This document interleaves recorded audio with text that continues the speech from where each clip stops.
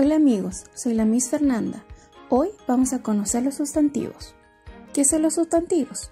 Los sustantivos son las palabras que utilizamos para nombrar a personas, animales, frutas, países, entre otros.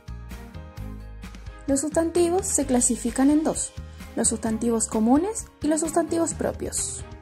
Los sustantivos comunes son los que nombran a personas, animales u objetos y se escriben con la letra inicial minúscula. Veamos algunos ejemplos. Podemos encontrar palabras como barco, gato, reloj.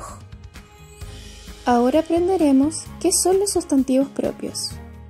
Los sustantivos propios nos ayudan a nombrar una entidad en objeto o persona en particular, distinguiéndolo de los demás como por ejemplo nuestro nombre, nuestro apellido, el nombre de nuestra mascota y el nombre de nuestra ciudad.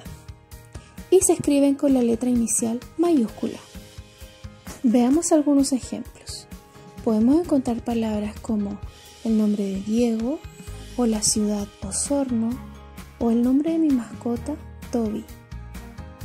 Ahora inténtalo tú en casa.